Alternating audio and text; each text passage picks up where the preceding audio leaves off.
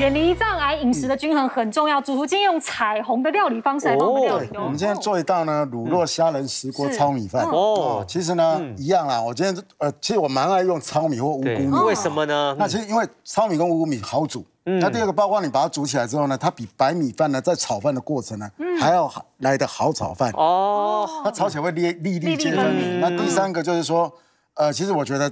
糙米的部分呢，煮起来会有一一个特殊的一个香气呢，就是非常棒。OK，好，我现在把石锅稍微给它加热，但加热之后我把它关起火源，就把它放在里面保温。哦，因为如果这个已经熟的糙米饭了啊，对，熟这个一定要熟的啦，如果太生的话也没有办法熟。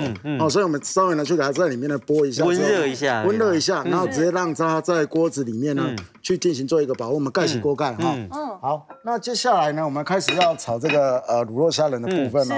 一样，在锅子的部分呢，一样是加油，芝麻油，芝麻油。哦，对，其实芝麻油哈，就是一个非常棒的一个油脂啊，而且我觉得它炒炒菜的任何的一个香味。哦，非常棒啊。然后接下来我们要把这个呃洋葱的部分呢，放进去，嗯，哦，放进去呢，这时候呢火都还不要太大，都小火，嗯，所以我们。我们这样讲哈，炒葱姜蒜这种东西呢，火都不要太大。哦，因为火太大的话呢，其实呢，你调出来炒出来的味道的比例呢是会不平均的。哦。啊，尤其为什么？你看我们常常在外面吃那种姜母鸭，对，为什么它要锅子呢？火那么大，然后把姜放下去，它就是要把那个姜的味道呢完全给激发出来，来盖过那个嗯。那个鸭肉的那个鸭鸭腥味。哦。所以呢，其实我们在炒的过程哦，嗯，要让它这个味道稍微平均一点嗯。呃，火呢？小火就小小的火。好，接下来呢？香菇啊。呃，香菇放进去。嗯。放进去呢，让它在锅子里面呢稍微停留一下。嗯。哦，停留一下，让它一样炒出这个香味了哈。呃，其实干香菇啊，我们在炒的过程呢，也是一样啊，就是说用中小火的部分，因为干香菇是很容易熟的一个食材。哦。稍微很容易焦。炒一下就熟了哈。那接下来要炒玉米。玉米哦，这是熟的玉米还是？这这是呃熟玉米。熟玉米。所谓的熟玉米，我们关起火源了。嗯。问一下伟如哈，来炒玉米的部分呢，要大火还是小火？小火。为什么？因为怕它烧焦变爆米花。对。哇，真的假的？哇塞，哦，可以炒成爆米花，真酷哎哦。真的真的真的，因为有时候你会喷呐，像这种已经熟化的会，喷到是脸上。真的哦，哇塞。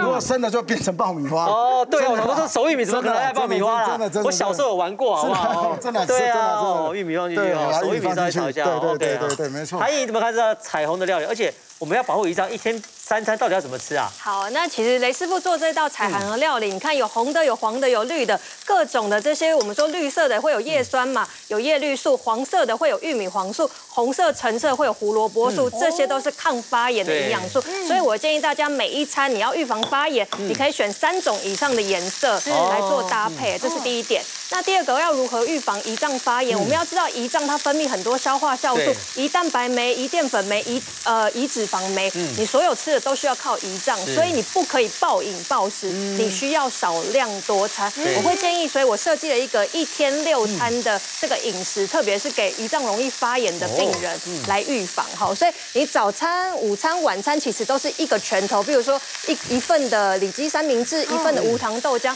量少少，但是就是让你吃个六。七分饱，但是再来点心的时间十点、下午三点、晚上九点，我们还有一份点心，配一份的小苹果、坚果哈。午餐呢，地瓜叶、清蒸鱼、五谷饭、绿叶蔬菜。点心的时候，你可以有一点点小的毛豆啊、小番茄。晚餐菠菜、白切肉、地瓜。晚上这个味增豆腐汤，少量多餐就是一个好的原则。OK，好，好，快放着。哎，这绿绿是什么菜？呃，就呃菠菜啦。菠菜，现在把它加一点绿茶高汤下去。OK，那绿茶高汤把它加进去之后呢，呃，我们把所有的料呢，把它炒平均一点。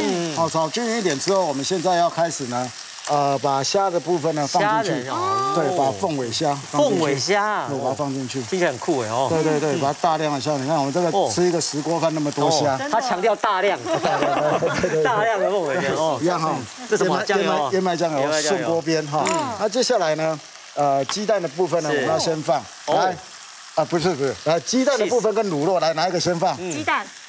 为什么呢？因为气子后面有香味嘛，煮太久哇塞，你下次问你偷不要答对对对，他答对他厉害呢。对，鸡蛋部分的把它放进去。OK。嗯。哇。哦，全蛋哦。对，放进去之后呢，那接下来呢，关小火，关小火现在把乳酪的部分呢，一片一片把它一片摆进去，把它一片一片一片贴上去。哦，所以我们这样子把它层层把它对分开了，不然会纠结在一起。对，哦，所以我们这样一片一片把它放上去。上去，让它融掉嘛，哈。对对对，我们要让让它融掉。那这时候呢，呃，我们再把这个砂锅饭的这个火稍微现在才开一些，现在才稍微这个对，把它开火一下啊对，嗯把它打开一下。好，那我们现在把这个气死铺上去，铺上去。嗯，嗯，对，好，好铺上去之后呢，我接下来呢要把这个完全煮融之后啊，然后把这个呃有一点像那种冻饭的感觉，对，嗯，把它盖上这个饭里面，哦，淋上去是把它淋上去。现在开启大火哈。开启大火，哦开启大火，让这个蛋呢完完全有一点熟的熟熟化的感觉。不然的话，其实这蛋呢，其实有一点生哦。其实我我个人觉得，我不会太吃很生的那个鸡蛋的话，对，我们稍微所以那后来的胡萝卜丝跟那什么的香菜是最后香菜再放上去的，对对对对哦对 OK 哈。所以我们融上去之后，把它给盖上去，是不是？对对对哦对哎，那气质还蛮难融的对，啊不。会不会不会，其实蛮快的啦。嗯，有温度它就融。对，那蛋要煮到什么时候？蛋的话，我们大概这样就 OK 了。这样就 OK 了，对对对，我们要起锅了哦，哦。好，香哦，我们起锅之后把它淋上去哈，再加上胡萝卜跟我们的香菜，我们这道帮你稳定血糖的料理就完成喽。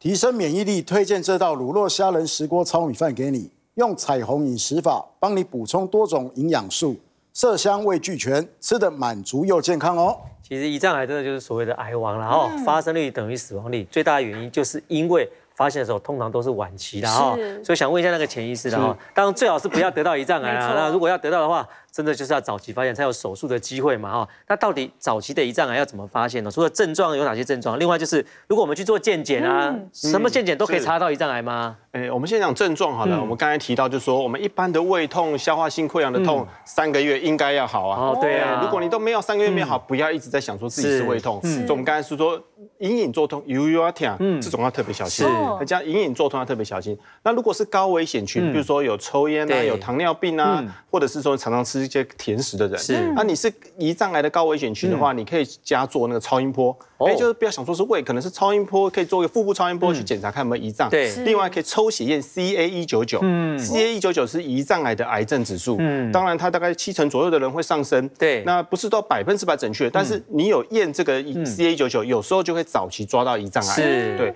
那如果超音波检查还不是很清楚的话，还可以再做核磁共振，因为核磁共振这样子大概就可以看得很清楚有没有胰脏癌。所以针对一些高危险群呢，大家只要提高警觉，觉得自己如果血糖不正常的上升，或者是你的腹痛有不正持续持续太久，要特别小心。是，所以常常讲了，就是首先你要知道自己到底是不是胰脏癌的高危险群啊。如果有胰脏癌高危险群，又有以上讲一些症状，就要特别的小心了哦。朋友可以常常推荐大家啊到我们健康二点零的官网稍微看一下哈。像这篇关于胰脏癌文章就告诉你了哈是，没有家族史，不烟不酒难，常腹胀，现在是罹患胰脏癌哦胰脏癌。这里面也很详细的介绍应该要做哪些的检查哈哦，这里面都有非常详细的资讯哦。接着告诉各位，胰脏癌真的是癌王啊哈，任何上腹部的不舒服，隔了一两个月没好，何必有体重减轻、血糖上升，记得要小心自己是不是胰脏癌哦。我们健康二零，下次见，拜拜。拜拜。好，我是江坤俊医师。喜欢我们影片的话，请记得按赞、订阅，加上开启小铃铛哦，就能及时收到我们的最新影片哦。